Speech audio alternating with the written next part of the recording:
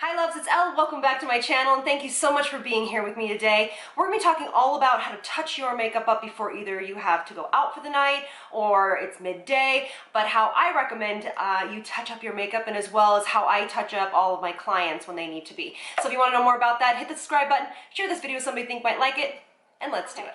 So it, my makeup has been on for a long time right now. If you can see, which I don't know if this picks up on the camera or not, but I have my makeup starting to break up here. It's off my nose. My nose is pretty red. You can see dots in my pores.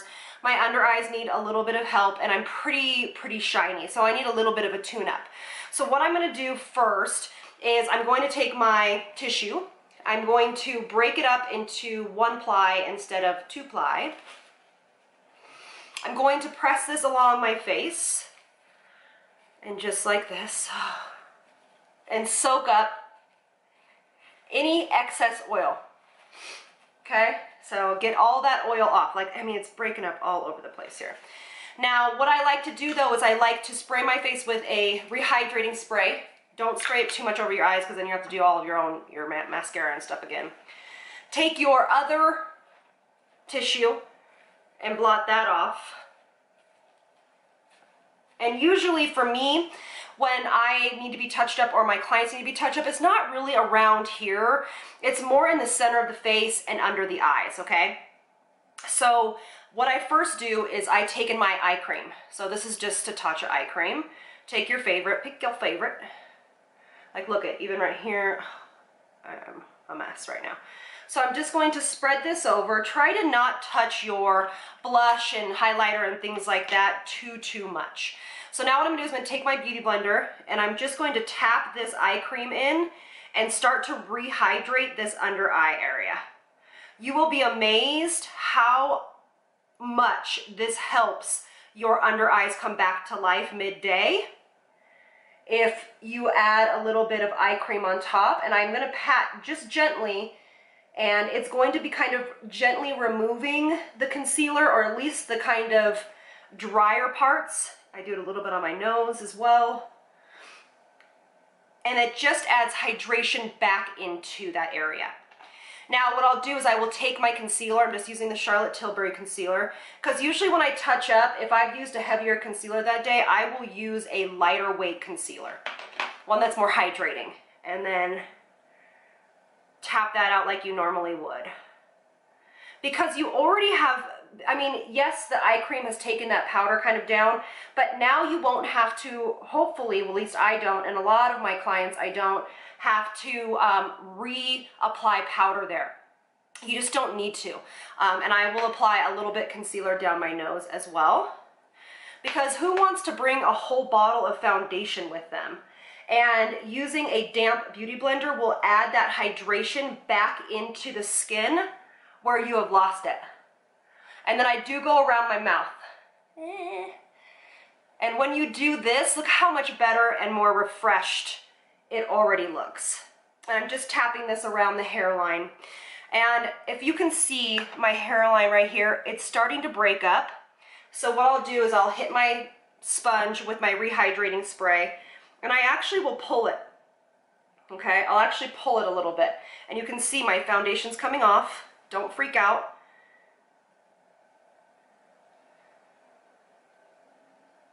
Okay.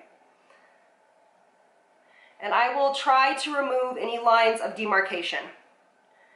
So it just kind of feathers off. Now you can either take your concealer or if your foundation is small enough, you can bring that with you as well. You don't really need to put moisturizer underneath. I mean, we're just touching up here. We're not looking for perfection. And this should not take you very long.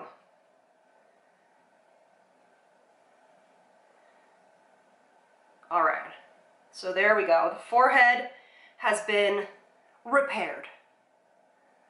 Okay. I will, though, because I travel with mine, I will take my Hourglass powder on my damp sponge and just kind of tap in a little bit of powder on the forehead because this powder does give an illumination and it kind of reflects any flaws that might be there. You know I travel with either my Hourglass or this palette I got from Target is amazing. And I'll just take, the, this comes with a little brush. It's not really great, but take it in the lightest shade. I'll link everything below. But I like to travel with a little bit of contour. Go right over. You know, we're restoring what we did earlier that morning. There we go. I'm going to take a little bit of the blush and you go right over that line of demarcation where you've removed your under eye concealer and reapplied it.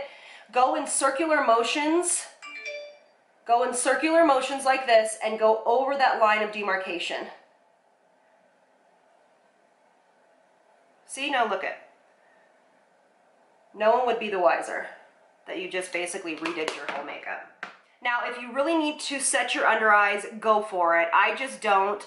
And, but I will kind of throughout the day just gently take my hands and just tap a little bit in case you do get some creasing. I mean, you guys, the under eye area is a mobile part of our body and it's going to move. So you can't be assured that anything you'll do doesn't create creasing. Um, it's about trying to do your best and deal with what you got. All right. And I did want to say though, make sure that you bring that concealer around your nose too if you have any red drops or red redness around the nose. That's why I like a concealer like this. There's so many out there. Maybelline Instant Age Rewind. I mean, it's not about the products here, guys, but this is a lightweight, thin concealer that I already know I don't have to set if I don't want to.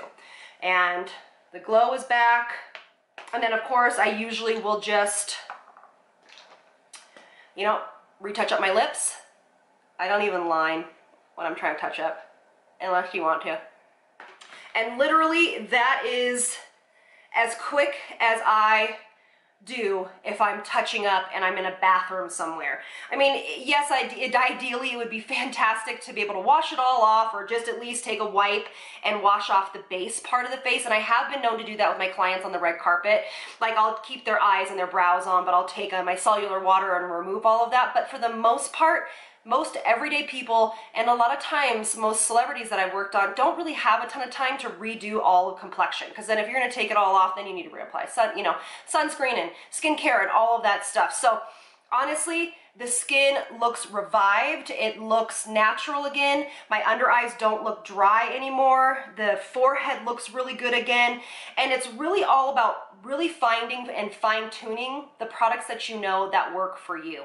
My holy grails for this type of technique is the hourglass powders or something similar that has a little bit of shift to it, a all-in-one palette, and making sure that you have an eye cream and that's really going to help because you can really use your eye cream all over the face if you really wanted to, um, especially when that's a little bit thinner like this or the Biossance or whatever your favorite one is. So I hope that this helps you navigate touching up in the middle of the day. If you want to though, if you get really, really oily, there is a small, which I obviously you know how I feel about setting sprays with alcohol, but there is a small bottle by Urban Decay um, that is a mattifying spray if you want to use that as well but that's just more for more oily combination skin.